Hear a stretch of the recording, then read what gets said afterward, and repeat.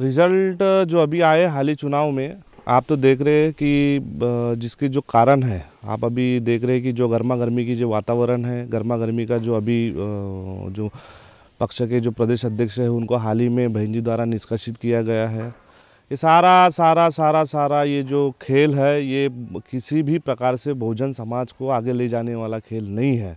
ये आप जो देख रहे हैं, ये प्रदर्शन जो देख रहे हैं ना, ये प्रदर्शन के लिए जिम्मेदार कौन है? ये प्रदर्शन जो आज बहुजन समाज पार्टी का महाराष्ट्र में हुआ है। बहुजन समाज पार्टी इतनी बेकार परिस्थिति में आज वोट बैंक गिरा है। इसके लिए जिम्मेदार कौन है? आप अगर देखोगे तो इसके लिए जिम्मेदार ये पूरा का पूरा शीर्ष नेतृत्व है। चाहे फिर वो बहन, यानी बहुजन समाज पार्टी के राष्ट्रीय अध्यक्ष हो या वहाँ से उनके द्वारा भेजे गए यानी, प्रदेश के प्रभारी हो या यहाँ काम करने वाले लोग हो। सभी के सभी लोग इसके लिए जिम्मेदार है। चाहे मैं हो हमारी पदाधिकारियों की जो भूमिका है, वो तो हम डिसाइड करेंगे और हमारा वो तो उसके बारे में अध्ययन हो रहेगा और हम लोग साथ में बैठ के पूरी जो ज़िले की कमेटी है, प्रदेश की कमेटी है, जो एक नेतृत्व के लिए काम करती है, यानी फुले शाह अम्बेडकरी विचारधारा के लिए काम करती है, वो बैठ के निर्णय लेंगे।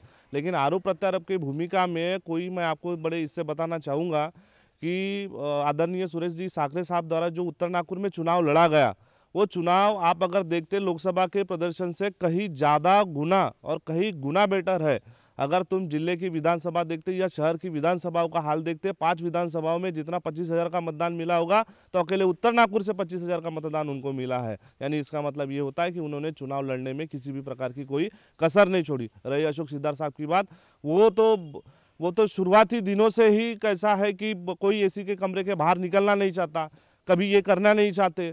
जहाँ आते हैं बराबर यहाँ आने के बाद किसी भी प्रकार से कार्यकर्ताओं को जमीनी स्तर पे आकर मोटिवेशन देना चाहिए, वो नहीं करते हैं। सिर्फ़ आरोप प्रत्यारोप की भूमिका, पैसा जनरेट करने का काम, पैसा इकट्ठा करने का काम। साल भर सिर्फ़ पैसों के नाम पर, पैसों के नाम पर कार्यकर्ताओं को, पदाधिकारियों को एक जैसे परेशान किया जाता है, पैसा इकट्ठा करके वो यूपी भेजा जाता है। और क्या क्या करेंगे? तो वो अशोक सिद्धार्थ साहब का काम ही है वो।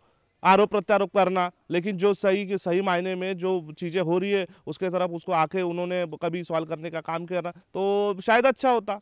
जमीनी स्तर पर लोगों से बातचीत करते, लोगों को कार्यकर्ताओं में जोश भरते, एक सांसद आदमी अगर समझो ग्रामीण जमीनी लेवल पे जाता है, लोगों के साथ जुड़ा रहता है तो उसका वातावरण अगल अलग बनता है और यह आरोप प्रत्यारोप की भूमिका नहीं आई रही थी। देखो, हम अपनी काम, जो हमारी नाकारापन है उसको छुपाने के लिए अगर हम ईवीएम का ये लेते हैं बार बार बार बार सहारा लेते हैं तो मैं कहीं ना कहीं उसको ये नहीं करता हूँ। हमने अगर जिस तरीके से सही मायने में मेहनत की रही थी, पूरे पाँच साल तक हम लगे रहते पूरे पाँच साल तक जो भी उम्मीदवार हो, चाहे वो फिर प्रदेश अध्यक्ष क्यों न हो, पाँच साल अगर जमीनी हकीकत में आके काम करते तो वो शायद चुनाव जीत जाते। हम अपना नाकारापन ई के ठिकरे क्यों फोड़े? क्यों फोड़े? बताओ हम कौन से ज़मीनी में हकीकत में जाके काम कर रहे हैं? कोई काम नहीं कर रहे। श्री बाबा साहब के नाम से वोट बटोरने का काम कर रहे हैं। पैंतीस साल से आ, वही तो होते आ रहा है। दूसरा नया क्या हो रहा है? जो लोग अच्छा काम करते हैं उसको बाहर कर दिया जाता है। आगे की रणनीति यही है, अभी हम हमारी जो जिला कमेटी है, मैं भी ज़िले का उपाध्यक्ष हूँ, जिला अध्यक्ष है, आगे के जितने भी जो शहर की कमेटी है, स्टेट की कमेटियाँ हैं, वो हम बैठ के ये करेंगे। अगर उसका उचित ये निकलता है तो बहुजन समाज पार्टी को आगे बढ़ाने का काम जारी रहेगा, वरना जिस हालात में है, उसको हम वही छोड़ के हम आगे का सफ़र जो है, अपना आम्बेडकरी मूवमेंट का हम खुद अपने इस पे कंधे पे लेके आगे बढ़ने की कोशिश करेंगे।